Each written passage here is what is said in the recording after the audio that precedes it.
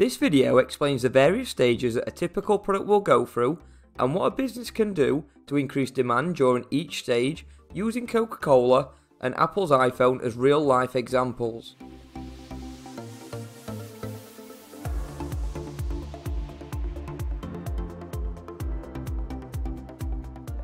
The product life cycle is an important concept in marketing. It describes the stages a product goes through, right from the point that the product is just an initial design idea in the research and development stage until the point that the product is finally removed from the market at the end of its life. However, it's important to note that not all products reach this final stage. Some continue to grow, while others rise and fall very quickly. Ultimately, it is critical that marketers understand the life cycle of their product, and business executives should have a plan for dealing with products at every stage of their life cycle.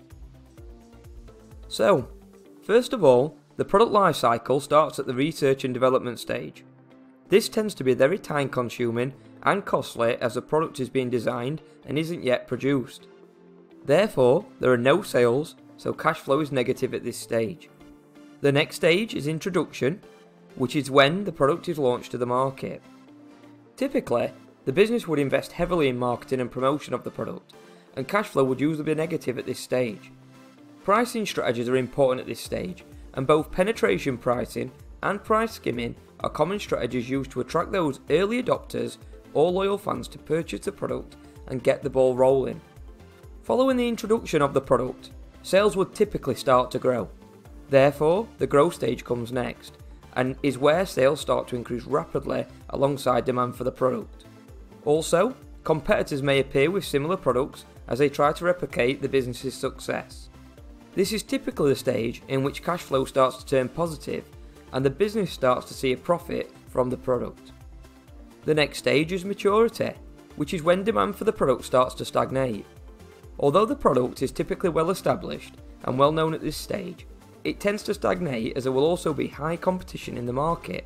However, a key positive for the business is that the product is well established, so cost of production and investment in marketing is typically much lower. Therefore, cash flow tends to still be positive during this stage. Common strategies during the maturity stage include managing production levels to ensure the business doesn't overproduce, whilst distributing the product to more businesses and retailers to reach a wider audience, commonly with a lower price tag. Following the maturity of the product, it enters the decline stage, within which sales start to decrease and the market is oversaturated with both competition and availability of products. This leads to supply being higher than demand, which is commonly influenced by advancements in technology and changes in consumer buying behaviour. Therefore, it is typical for a business to experience negative cash flow within this stage, which eventually leads to the production and marketing of the product being stopped to minimise costs, whilst the price is cut to clearance to sell off the final batch of units. Now, it's very important to understand that a business can actually prolong the life cycle before it enters the decline stage through product extension strategies. If you consider the life cycle of Coca Cola, when their original product, Coca Cola Classic, hit the maturity stage, they have had many strategies over the years to extend their brand and their core product. This is typically through something called a line extension. Examples of this include Diet Coke, which is one of the most famous line extensions for the company, mainly targeting females to purchase the famous soft drink. Then, as the trend grew and health concerns around sugar became much more serious, they tried to attract males to a sugar free alternative by introducing Coca Cola Zero. Other line extensions include Cherry Coke, and more recently in 2014, Coca Cola Life, which had a very short life cycle and was taken off sale in 2017, just three years after its release, so Coca Cola could simplify the choice between sugar and sugar free options in the UK. Another extension strategy would be brand extension. An example of this would be Coca Cola using their brand to expand into a new market. For example, selling a range of chewing gum, essentially using the brand of Coca Cola to help the product become established in a new market much quicker.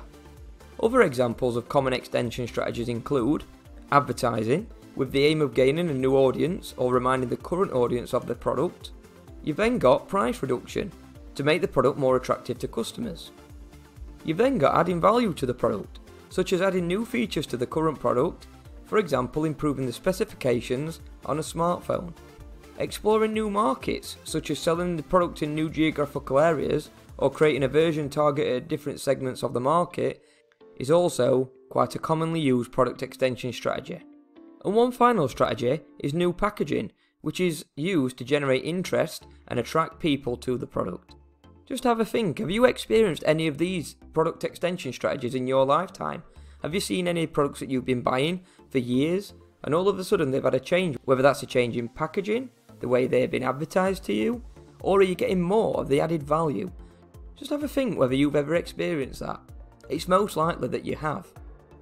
So now we will have a look at the product lifecycle of Apple's iPhone. The iPhone was introduced to the market in 2007, reporting 1.39 million sales. They hit the growth stage fairly quickly, increasing from 1.39 million sales in their first year to 11.63 million sales in 2008. That's an increase of 736%. Apple's iPhone sales continued to grow for 8 years, from 2008 to 2015.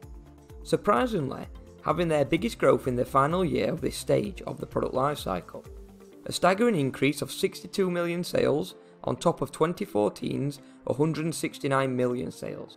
However, what you can clearly see from 2016 onwards is the iPhone hitting the maturity stage, within which sales actually decreased for the first time ever, a 19.3 million decrease in unit sales in comparison to the previous year.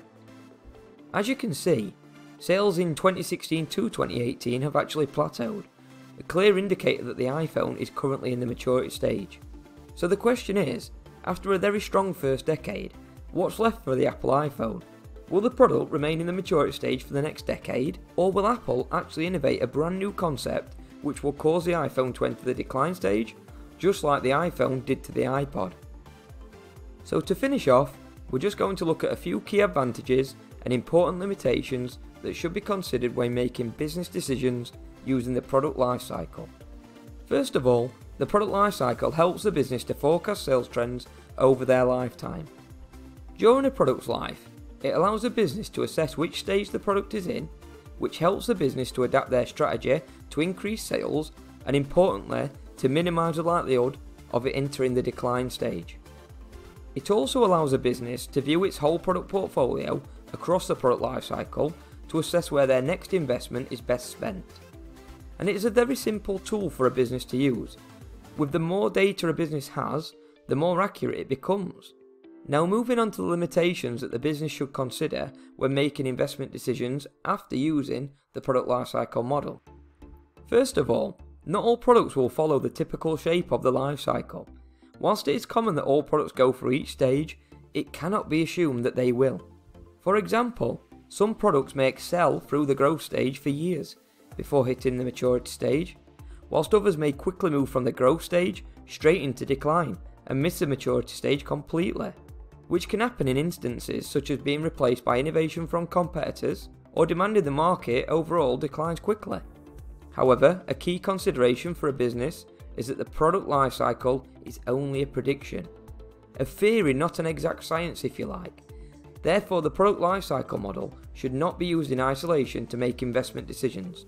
Hopefully that's helped you to get to grips with the product lifecycle.